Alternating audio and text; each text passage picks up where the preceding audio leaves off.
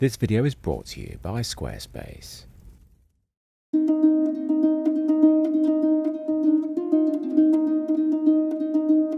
Is the Canon R5 really the best hybrid camera on the market? Well, yes, I think it really is. But if you've seen the first part of this video, and if you haven't, stop right now and go and watch it, you would be quite right in thinking I had probably lost the plot.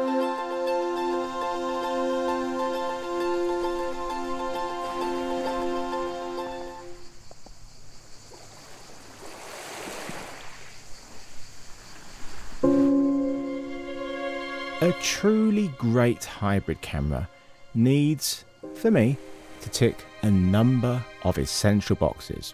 It needs to be mirrorless, with a full frame sensor of at least 24 megapixels, ideally much higher, and the resulting stills, of course, need to be gorgeous. Obviously. Video wise, it needs to shoot at least 4K 60p without cropping the sensor and to be able to record 10 bit with a log profile internally. And of course, it must be able to produce a superb image without line skipping or pixel binning. And do I really need to say this? Fantastic autofocus, not just in stills, but in video. In an ideal world, that autofocus works for humans as well as animals in both stills and video. This wouldn't be a deal breaker if it didn't do this, but it really should. I'm not really asking for much, am I? There really isn't many cameras that actually tick all those boxes. We have cameras which tick all the video boxes, we have cameras which tick all the stills boxes. But cameras which tick them all, that's the problem, and that's where the Canon EOS R5 comes in. So join me in this final part where I really put the R5 to the test. From my early days at the beginning of August to now, four months later, has the camera gone from being almost the most frustrating camera I've ever used to being a superb and reliable professional tool? So when I went out to my beloved Skiathos for a week in August, I took it with me, alongside a loaner A7S III from Sony. I wanted to do some filming of the cat charity out there, which I've done numerous times, but also really put the animal autofocus to the test.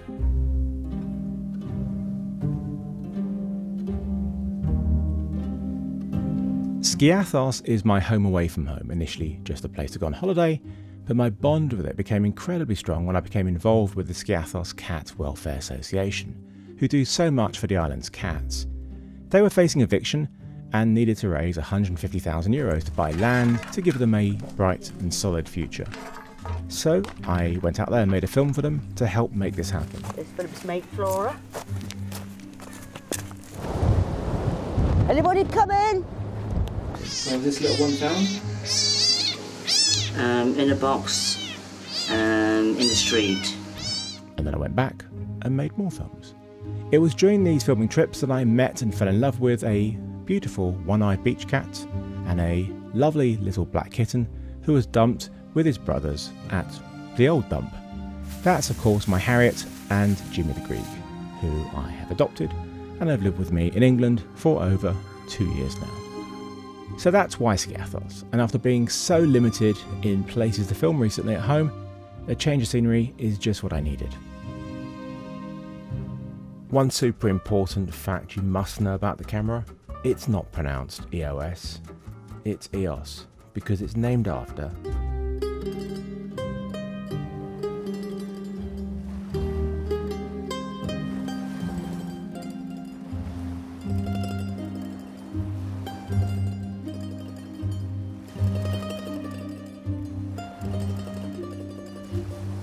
One of the ideas that I wanted to try and do whilst there was to capture long shots of the beaches, to upload them to my YouTube channel and have them on a playlist to be used as a sort of wallpaper screensaver. A bit like what you have on Apple TV, but these shots would be static and much longer, ideally about 30 minutes in length. So, not a montage, but something to relax to, just have on in the background. And this idea came about with the sponsored video that I was going to be making for LG, the video that I touched on in part 1. I did manage to get some lovely shots of the island, and I feel that it really helped make that video special, and I rarely talk up my own work.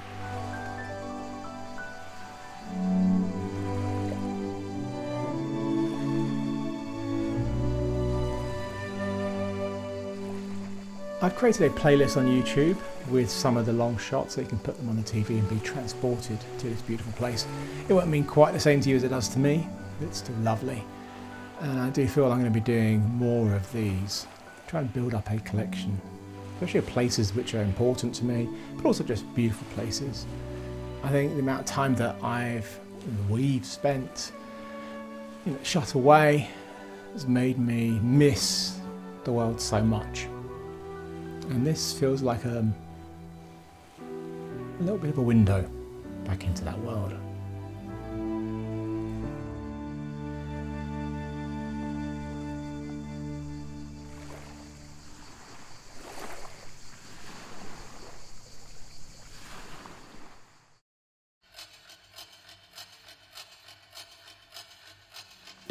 Now, whilst that TV is 4K, I wanted to shoot as much 8K as possible not for cropping, but to future proof it. Now, I could show you lots and lots of frustrating experiences of trying to use the R5 in 8K here. It would become pretty boring pretty quickly. There's only so many overheating shots you want to see. The 8K idea was never going to be possible, certainly for the 30 minute shots, not with version 1.0 firmware that I had here.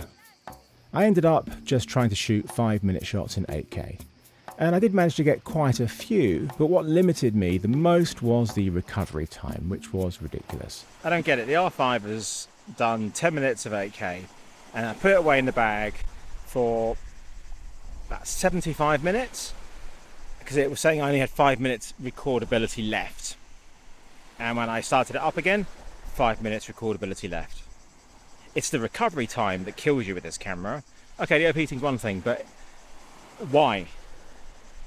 Why, how long does it need to get back to a state where it was when I turned it on first thing in the morning? It's been about three hours since I last used the R5. It's been turned off and left in the camera bag. I had five minutes left on 8K. I turned it on three or so hours later. It's eight minutes and 47 seconds. The key was to not let that timer reach zero because when it did, that meant leaving the camera for a good two hours at least to get that full 15 minute allowance again. It also meant I couldn't use the camera for anything else whilst I was leaving it to recover. No 4K, no film with cats, no photos. This was no way to work.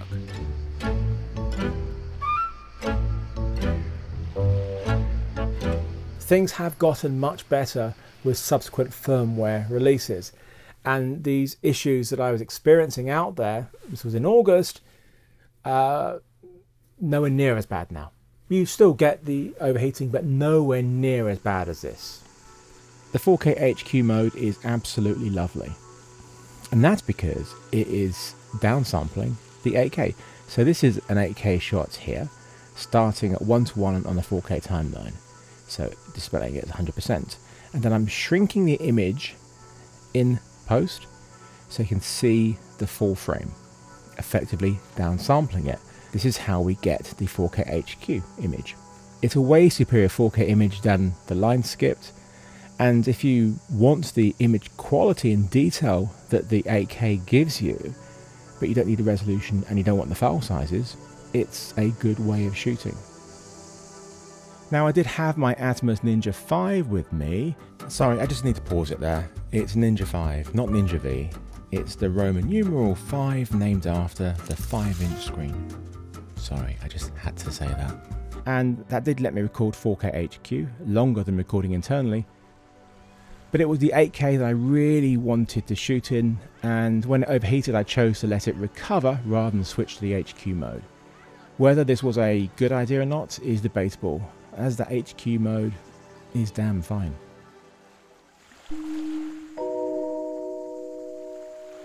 I always go on trips with at least one backup camera, and the Lona A7S III meant I was able to get my vision partly realised. It wouldn't be 8K, but the 4K from that camera is gorgeous and much better than the line skipped standard 4K the R5 is limited to when it's overheated. Also, I didn't just want to shoot in 4K 25p, but do something I never do. And that was shoot in 4K 50p or 60p, not for slow motion, but to be uploaded and played like that. I didn't want the wallpaper shots to be filmic, I wanted them to look more like what I said in my LG video, a window into the world. And I feel it kind of does that. It's not something I would use for anything else, but here it looked wonderful. And the camera didn't overheat once.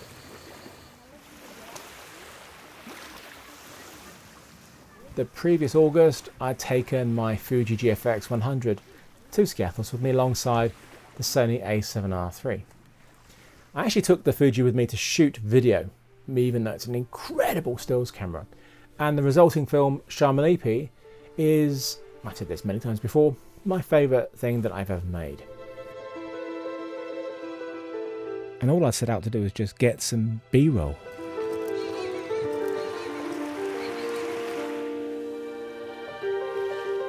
But life is rarely as simple as that, and the resulting story was very difficult for me to film, really difficult for me to edit, and still very difficult for me to watch.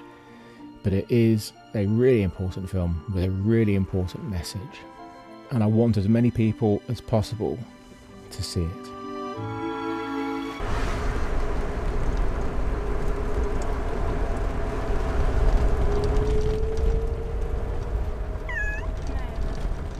And the uh, spine cord is injured, if not cut.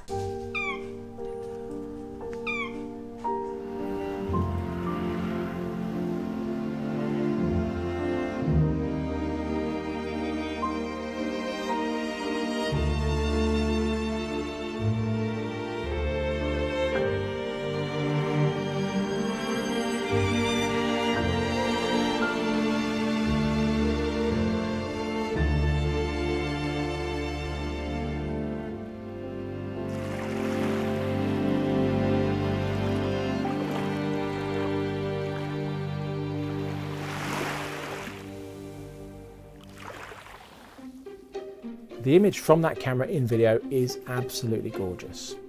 Really gorgeous. And the stills, just second to none with its 100 megapixel sensor. Absolute magic. Huge files, lots of pain working with it.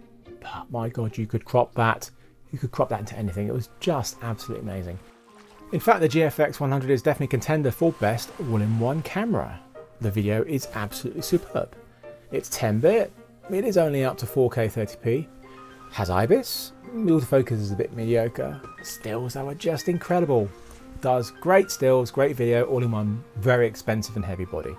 But still an all-in-one camera. Uh, as we're talking about Fuji, you've got to mention the X-T4. Another great contender as an all-in-one. Really lovely video, 4K, up to 60p, 10-bit. Lovely beautiful stills, all those lovely Eterna profiles and stuff. Downside of it, well, Super 35 APS-C. The autofocus is very frustrating. Big part of it is down to the fact that the lenses are not designed for video, so they're very unpredictable. So that's a big letdown. But it's a great camera with great images, both stills and video, and at a pretty good price. When it came to using the autofocus with the R5 in video with the cats, it did a pretty good job. And you can see that with the Ninja 5 plugged in to show the on-screen display and see what's going on. Unfortunately, just like the A7S III, when you output on-screen display, you lose the EVF and LCD.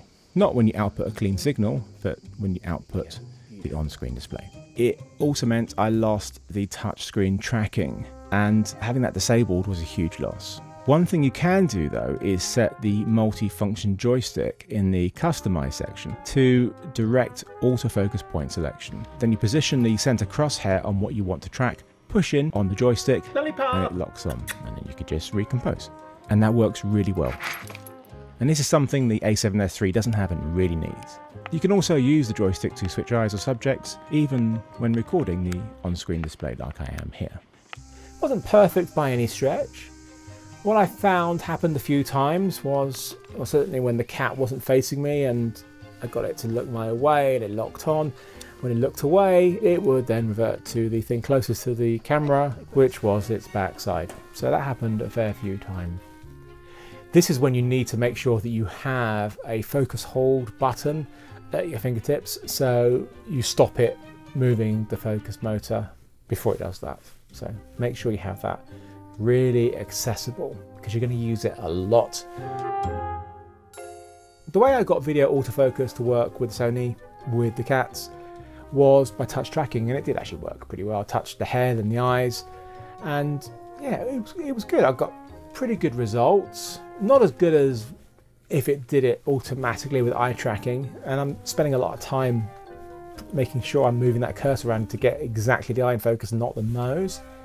Interestingly, there was one cat whose face the A7S III considered human enough to put a box around.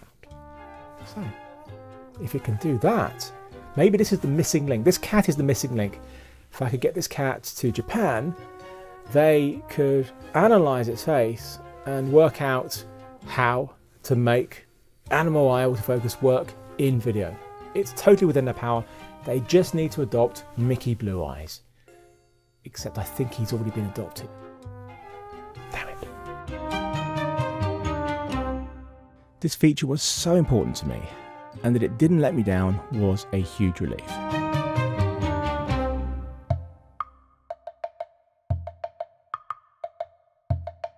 One thing I don't think I've got across is it does actually work with both animals and humans. It's got me right now and there's Jimmy here. It is set to no preference in the menu. You can have it set to animals or human preference, um, but it seems to have chosen me. It doesn't help that Jimmy's a black cat, much harder to get in focus. We can try, but I'm not very optimistic. It needs much more light in here to get Jimmy to be picked up. Sorry, Jimmy. Still doesn't want to pick up Jimmy. Oh, Jimmy, I'm sorry. But this did confuse me because it normally picks up Jimmy.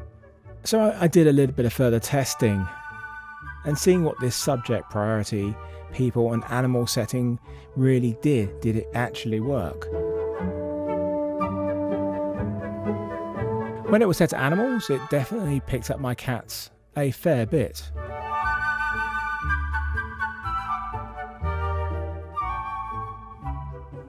and then it also picks up me a number of times. I suppose we are animals, after all, and I think I do look a little bit like a monkey.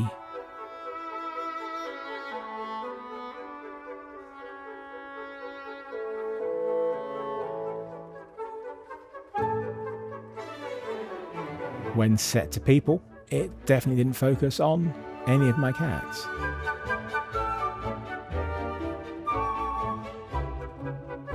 But the no preference prefers humans without question. It always defaulted to me and never put any squares around the cats at all. So really it's human preference, face priority, like the video cameras.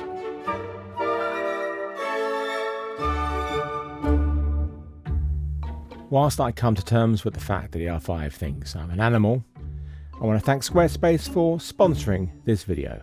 I have been using Squarespace since 2015 when my very bloated blog was split up into two separate sites the blog on one part and the work site separate. I love the templates and design and ease of use of Squarespace.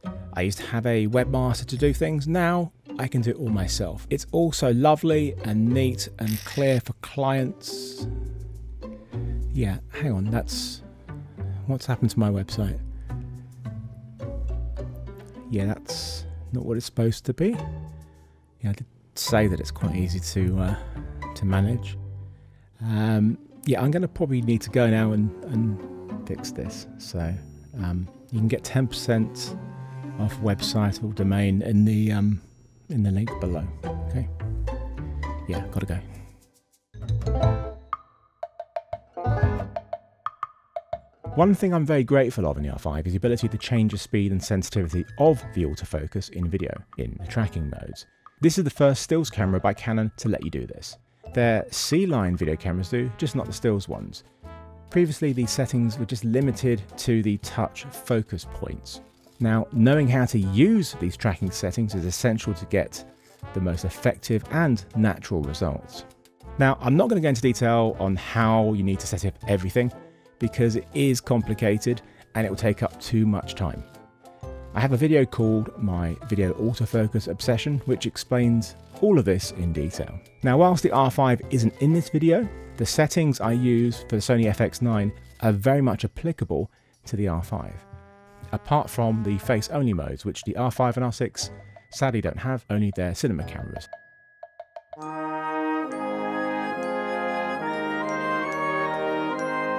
With the recording modes of the R5, there are a few quirks. If you want 10-bit, you have to shoot in C-Log. You can't get 10-bit in anything else, which other cameras don't have that limitation. And the ALL-I recording, um, the ALL-I 422 10-bit is really, really hard to edit. Like really hard to edit. Um, most computers can't cope with it, so you got to transcode it. I think the new Apple M1 chip seems to have no issues with it, but I don't have that. The camera only has the basic C-Log, which is limited to 12 stops, but Canon has said they are going to bring C-Log 3 to the camera in a future firmware update.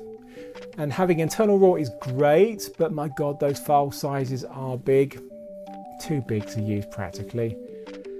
But I have heard talk of a lesser version of Cinema Raw Lite coming via firmware, and that would be very welcome. Let's talk about recording. We do have two slots but we aren't able to do dual recording of video, which is a real shame. So there's no backup. We can shoot in RAW on one and 4K in another, but you can't shoot the same thing. And it's also different media. So one is uh, CF Express Type B, and the other one is SD cards. Big thanks to Wise Media who sent me some CF Express Type B cards to use in these high quality modes enormously grateful because they are expensive and that data rate is pretty high and it eats up that space pretty quickly. I love that you can set the mechanical shutter to close when you turn off the camera and switch lenses. This stops the sensor becoming a dust magnet, something which utterly plagues the Sony mirrorless cameras. Apparently they don't put it in their cameras as they're worried customers will damage it. But I think that should be the owner's responsibility, so they should add it in firmware. After all, they did that with the A9 cameras.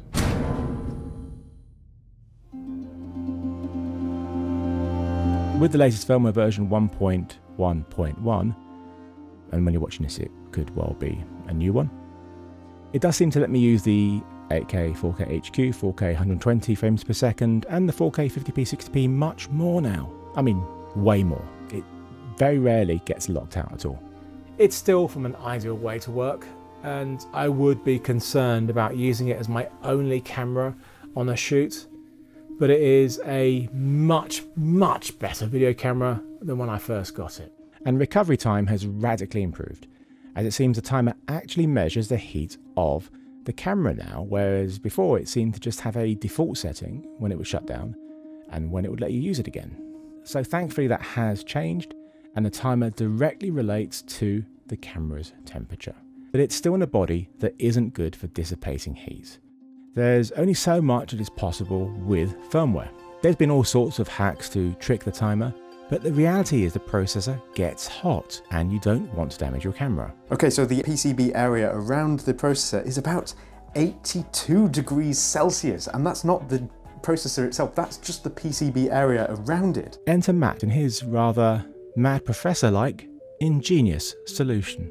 So I'm happy to report that the camera's been recording for over four hours now and there's no sign of any overheating, not even any warning on the screen. Okay, so water cooling isn't practical, but with better thermal management over the processor, he saw big improvements. This time round, the camera was happy to record for about 39 minutes before shutting down. And with the addition of a fan on the back, he managed unlimited 8K recording at room temperature. He even fashioned a more elegant fan for the bottom of the camera.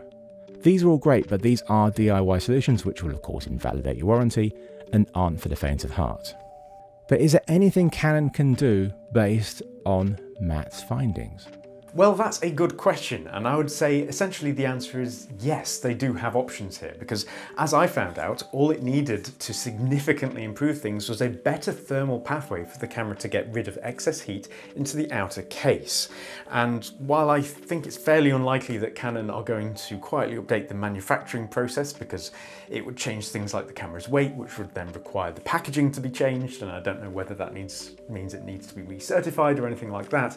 Um, what they could do is offer an after sales service where you send your camera to them and then they add a properly designed copper piece that can fit inside very easily and uh, improve the thermal transition transmission into the back of the camera's case. And uh, then they can send it back to you with a little reminder um, telling you to shoot always with the screen open and uh, the, the back of the camera will feel a lot hotter now. So I would say that's probably the best compromise for them. So let's hope they take it.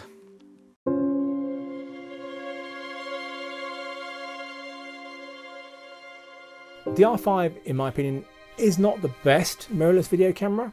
I think that is definitely the Sony a7S III because it's an absolute beast, incredible all-rounder, ticks every box when it comes to video, has everything you possibly want when it comes to frame rates, 4K, 120p, autofocus work beautifully. It is just a terrific camera. It doesn't overheat. The 4K image isn't as good as the R5's 8K and the 4K HQ, but it's still very, very good. It's only when you look at them side by side would you actually notice it. The photos from this camera are just gorgeous. I love the colours and the detail is exceptional.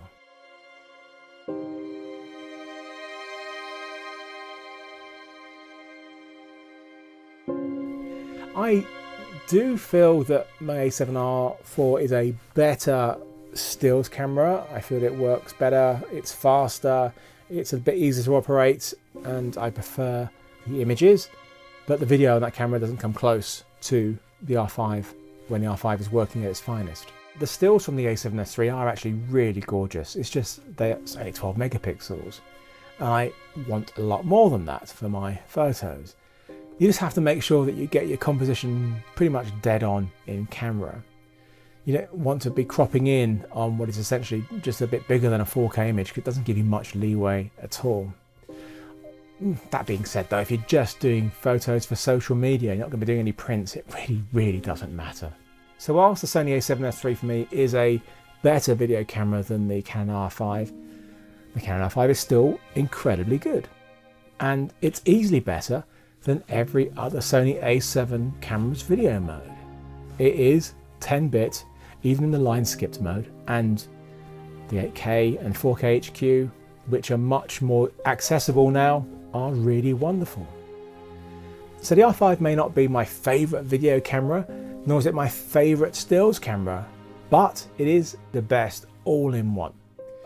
By having such a gorgeous video mode, which works much better now with firmware updates, a fantastic stills mode, all in one single body, is not something to overlook. And it has animal autofocus in video. Look, not everybody wants or can afford to buy two bodies, one for video, one for stills. In fact, let's be honest, we'd all love to just have a single camera to buy to do it all. Why wouldn't we? I don't know what the future holds, but it will be very interesting as I'm sure Sony will put in the video functionality of the a7S III in their future A7 cameras. So I'm pretty much certainly going to see 10-bit recording and 4K up to 60p in pretty much most of them. I would be shocked if we don't. I hope they can continue to improve the camera with firmware updates, as it really is a wonderful camera, and it certainly rekindled my love for Canon again. Right now, the Canon R5 holds a title, for me, for Best All-Rounder. There's an epilogue to this video. I haven't got it anymore, along with some very important other stuff. Absolutely gutted.